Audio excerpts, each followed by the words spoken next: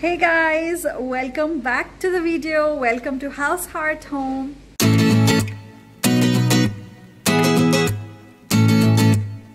If you're new here, my name is Sahana. Welcome.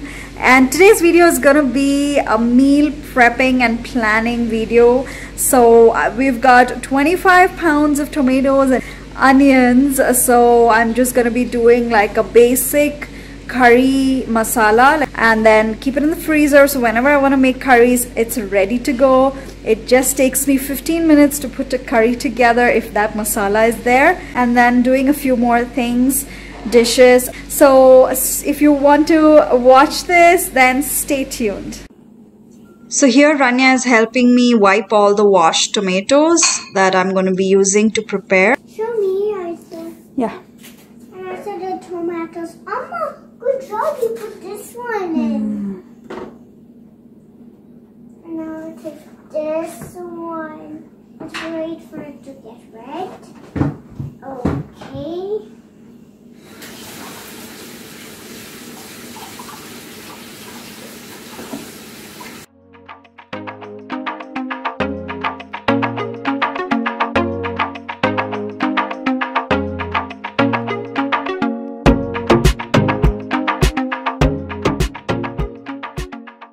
And here in this big pot, I've got some oil and added all the onions chopped up. There's more coming and I'm adding it and just cooking it up till it browns nicely.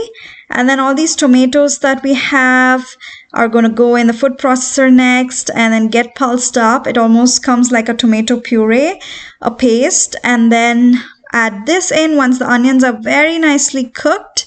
I'll add ginger garlic paste and then add the tomatoes in and make this yummy masala with spices. So here almost after 20 minutes the onions are nicely browning and they've softened up. You have to constantly keep an eye on it even though it's on low to medium flame so that it doesn't burn. Otherwise the bottom will burn. And i have this in a thick bottomed heavy base pan.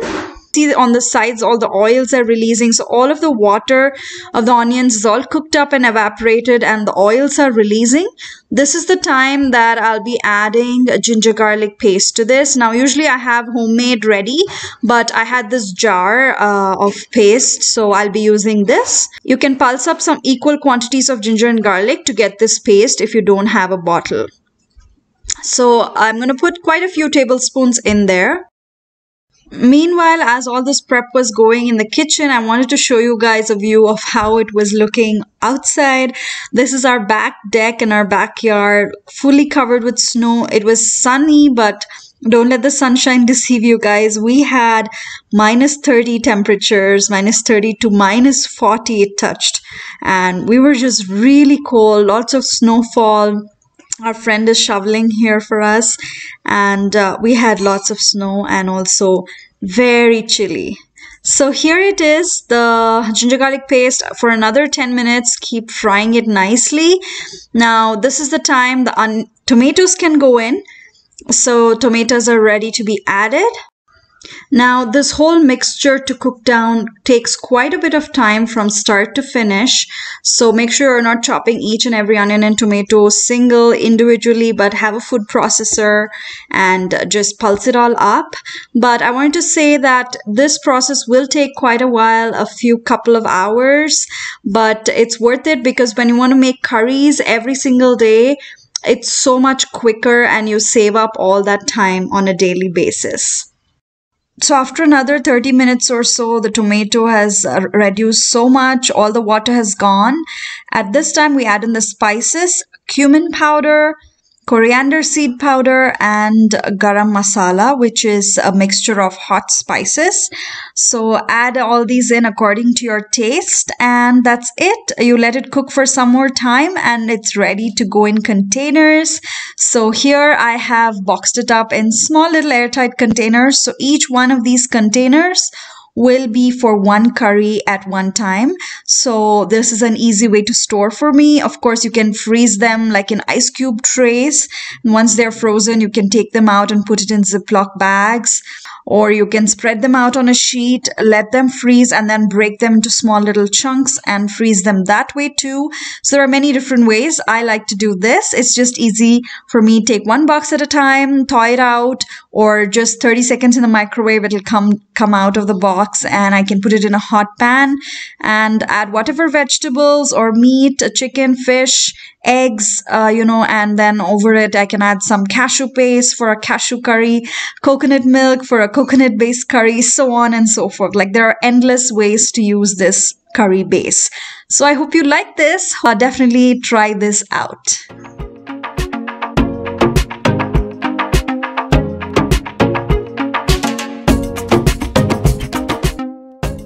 So here are the masalas or different spices that I'm roasting up for this chole curry.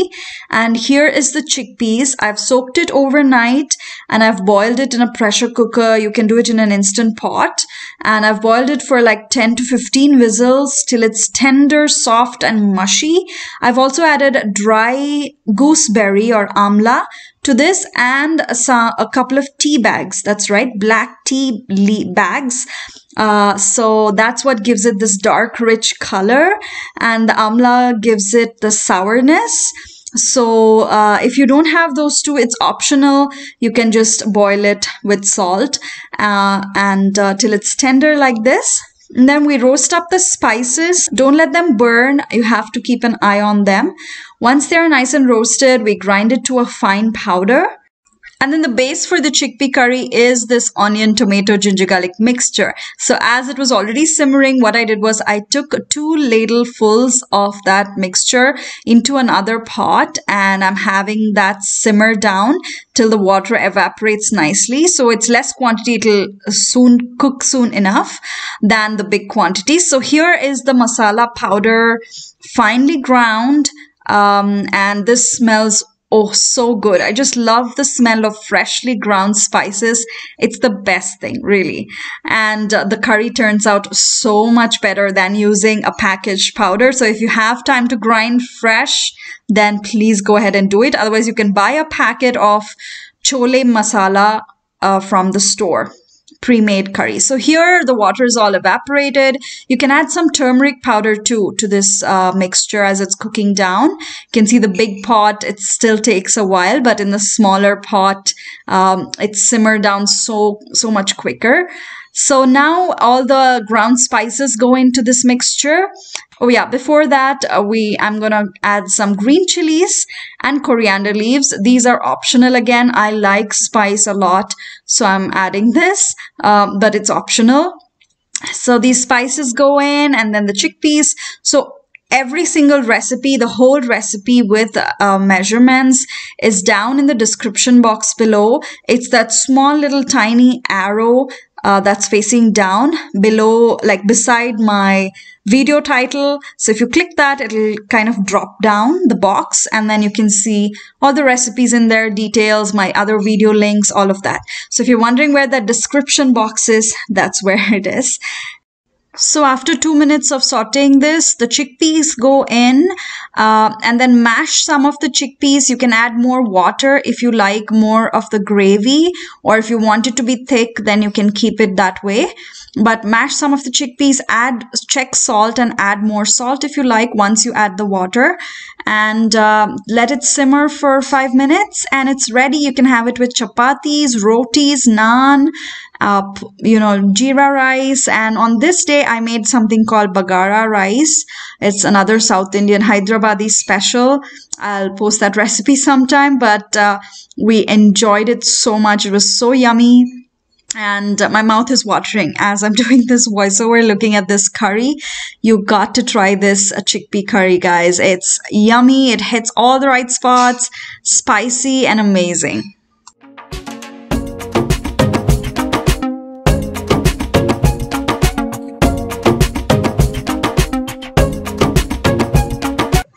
Love this next recipe.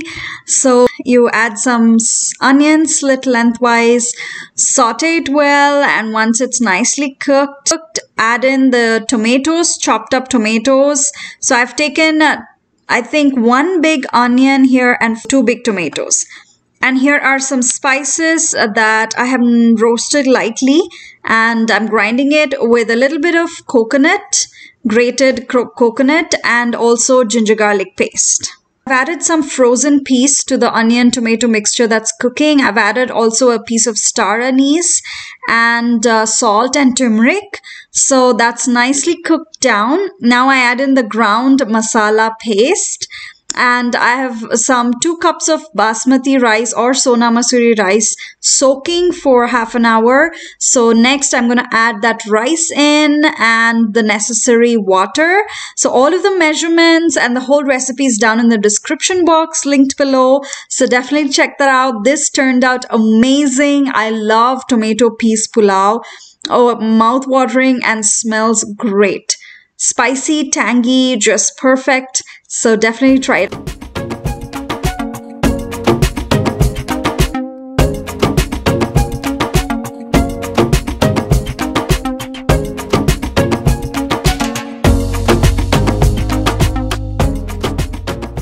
So here I have 1 kg of tomatoes that I'm chopping up.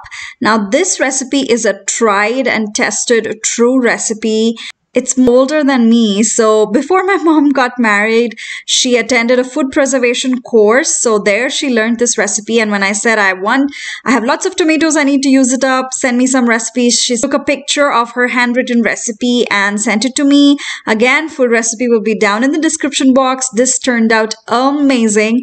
I love tomato pickles with chapatis, dosa, idli, uh, even like with hot rice and ghee it's just amazing this recipe is definitely a keeper for me i've already written it down in my recipe box and kept it and i have lots more tomatoes so i'll be making more of this i wanted to try uh, just a small batch to see if I like the recipe and the taste. And once I tried it, I loved it. I'm going to make more of these and keep it. Now, uh, as you can see, I've taken a very shallow pan. So that's a mistake I did all the oil was spluttering out everywhere. So uh, I had to change in, into another pan, a wider and a deeper pan. So uh, yeah, always take a thick bottom vessel because um, this will be cooking for a long time. So you don't want anything to get burnt. And uh, yeah, all the spices in this just were perfect. The measurements were great. Like I just love this recipe and I was licking it like just licking it. Um, so definitely check out the recipe down below. You can alter the spices if you don't like it too spicy. And uh, this is my last recipe, guys. I'm so glad you clicked on this video to watch it. Thank you for watching. If you like this video, please give it a thumbs up, share it with your friends, share it on your food groups on WhatsApp and Facebook, and please subscribe down below. Follow me on Instagram too to know lots of behind the scenes posts and uh, family stories and stuff. And until I see you in my next video, fill your home with lots of love. Bye guys.